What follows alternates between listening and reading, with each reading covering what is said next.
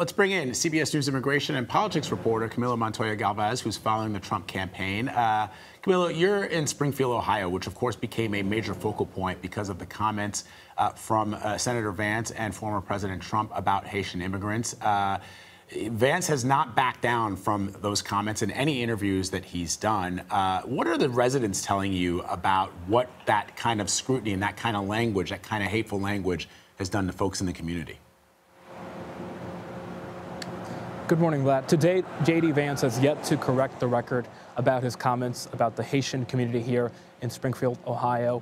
And obviously, he has been giving a lot of oxygen to false claims that Haitian immigrants here were eating or harming pets by local residents, saying that constituents of his were calling his office reporting this. But of course, those claims have been not only debunked and disproven by local authorities here in Springfield, by, but also by Republican lawmakers in the state, including Governor DeWine, who is, of course, a Republican and who is supporting Vance and former President Donald Trump in this election. And in addition to those incendiary claims, Vance has also called the Haitian immigrants here, Vlad, illegal aliens, despite the fact that these are immigrants who enter the country lawfully and are in the U.S. legally under Biden administration programs that allow people to enter the country lawfully. One of those programs allows Haitians and other nationalities to fly here to the U.S. if they have American based sponsors and they come here legally. And the other program allows people in Mexico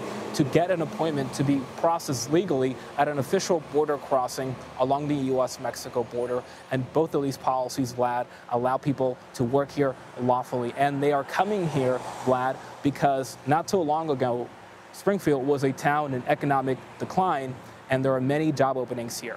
And Make no mistake, there are real challenges here. There has been a sudden and sharp increase in Haitian arrivals here, and that has strained local resources. The schools, of course, Vlad, have to absorb children from Haiti who don't speak English for the most part. Local hospitals and affordable housing here are limited, and so those are real policy challenges, and there is a legitimate policy debate to have about those issues. But of course, the more incendiary claims have been debunked, are not true, and can be dangerous, as we saw with the threats that many of the buildings here, including schools, received after those claims surfaced online. And so it's unclear if J.D. Vance will correct the record, Vlad, but we here at CBS News will certainly try to do that. And there's something else I want to ask you about, uh, Camilo, with regards to that. Is you cover immigration and you know this very, very well. It's not the point that is being made that there are city resources that are being strained in Springfield, Ohio. Of course, they are. Whenever you absorb a large influx of immigrants, the question is the, the specific type of language that was used specifically with regards to Haitians, which you don't see, for example, when, for example, Ukrainians or other Europeans uh, uh, decide to settle in a particular town in the United States. Uh, and you know as well as I do, you probably know better than I do, that we've seen immigrants not just from countries that are black countries like uh, Haiti or countries in Africa. There are Europeans uh, and others uh, from Latin and Central America who are coming into the United States as well, but you don't see that type of language being utilized, at least not in your reporting. If you haven't covered any type of language similar to what we heard from Trump and Vance about Haitian immigrants. No, that is an excellent point.